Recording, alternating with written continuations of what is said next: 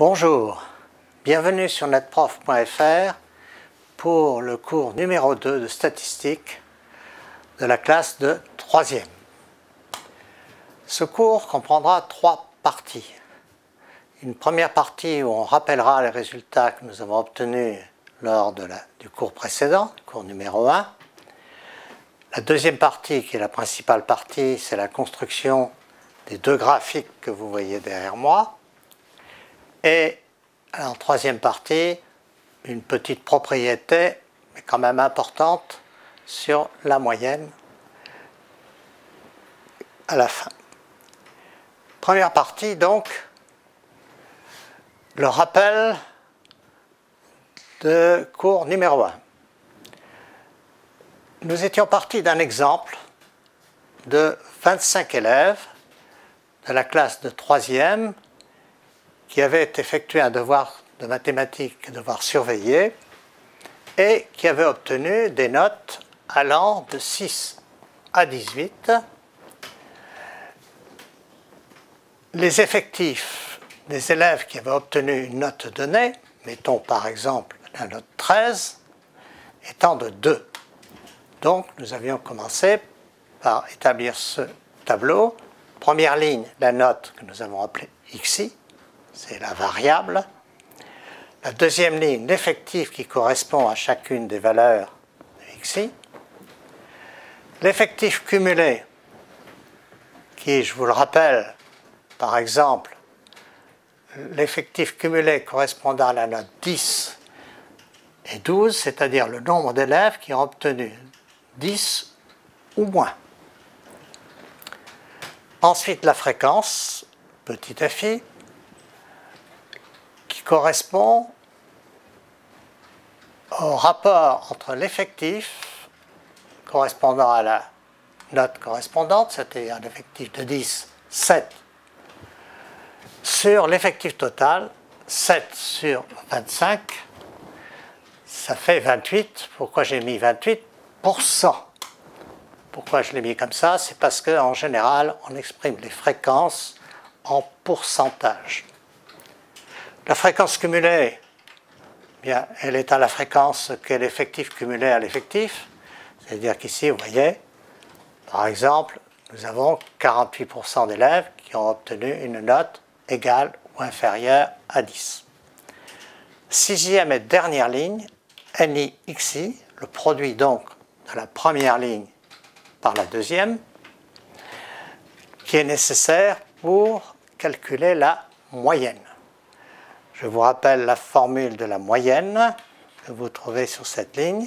C'est la somme des zéni xi divisé par l'effectif total. Ici, 300 divisé par 25 est égal à 12. Deuxième partie.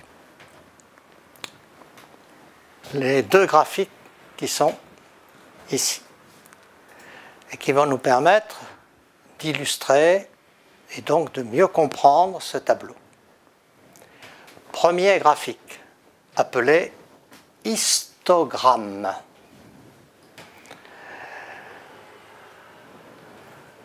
Coordonnées classiques, abscisse, ordonnée, orthogonale.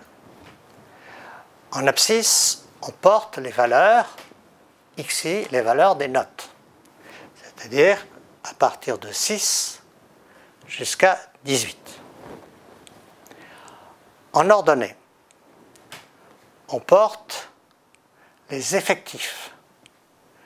Donc 0, dans le cas la note 7, jusqu'à la valeur la plus élevée, qui est ici 7. 0 à 7. Et on trace en face de la valeur, mettons en face de 10, vous voyez la valeur 10, un bâton qui est dans la hauteur correspond à l'effectif 7, ici. Donc c'est un histogramme que l'on appelle en bâton, ou quelquefois on l'appelle en tuyau d'orgue, parce que l'épaisseur ici peut varier suivant les goûts des uns et des autres. Ce graphique illustre très bien, à mon avis, ce tableau, au moins les deux premières lignes, et permet de le comprendre.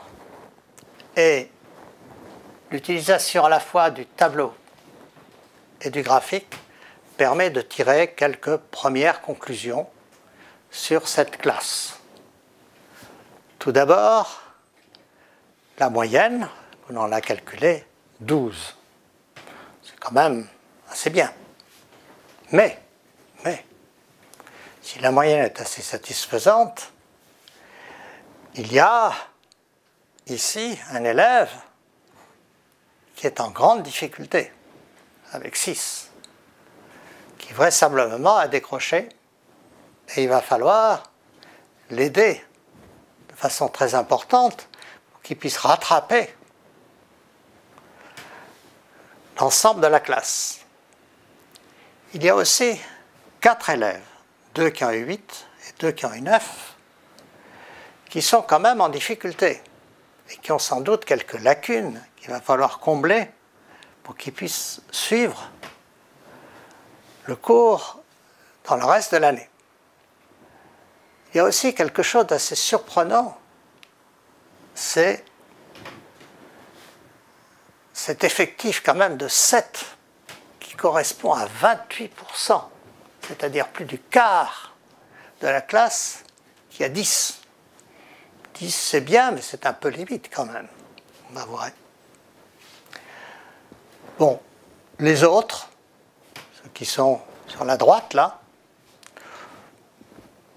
satisfaisants, mais ils sont assez dispersés, c'est très inégal.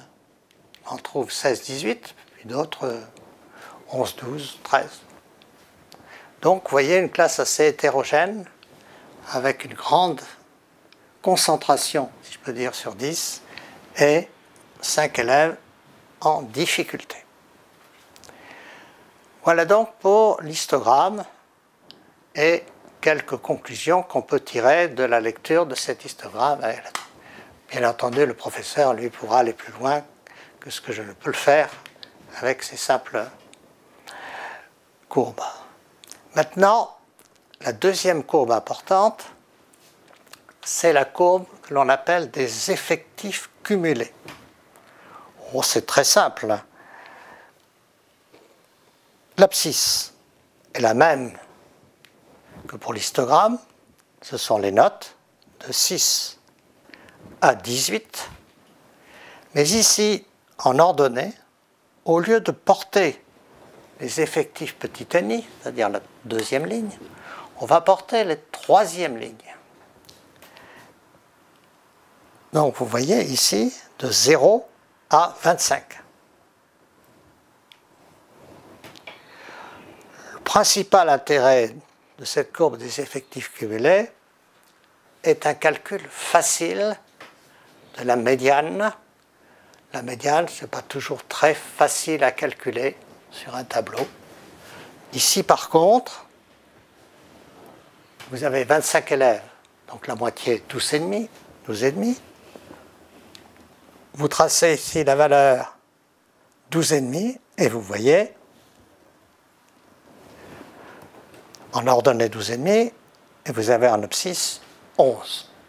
On retrouve ce que l'on avait calculé à partir du tableau. Alors, une remarque importante, et nous y reviendrons tout à l'heure. On peut tracer ici des histogrammes des courbes des effectifs cumulés, d'abord l'histogramme, en portant en ordonnée non pas les effectifs, mais les fréquences. Petit fi. L'histogramme aura exactement la même allure. Il suffit de mettre ici fréquence au lieu d'effectif, et ici on mettra les valeurs 4, 8, 12, 16, 20, etc. On aura exactement la même. Pareil pour la courbe d'en dessous. Au lieu de l'appeler évidemment courbe des effectifs cumulés, on l'appellera courbe des fréquences cumulées. Et là, on aura en ordonnée de 0 à 100, 100 évidemment étant la fréquence qui correspond à la note la plus élevée. L'intérêt de la courbe des fréquences cumulées, c'est qu'on n'a pas besoin de se reporter à l'effectif total et de le diviser par deux. C'est que quand vous avez 100 ici, vous prenez 50 et hop, vous trouvez tout de suite la médiane. Voilà donc pour ces deux graphiques qui sont assez classiques et qui permettent d'illustrer assez bien le tableau. Pour terminer, je vais vous montrer une propriété de la moyenne. La moyenne, je vous le rappelle, c'est la somme des NI xi divisée par l'effectif total. On l'a trouvé ici 12. On peut aussi l'écrire, puisque c'est une somme, on peut aussi diviser chacun des membres par l'effectif total, c'est-à-dire écrire somme des NI sur n qui multiplie xi. Mais qu'est-ce que c'est que NI sur n Ce n'est pas autre chose que la fréquence FI. Donc vous pouvez calculer la moyenne soit à partir de la somme des NI xi, soit à partir de la somme des FI xi.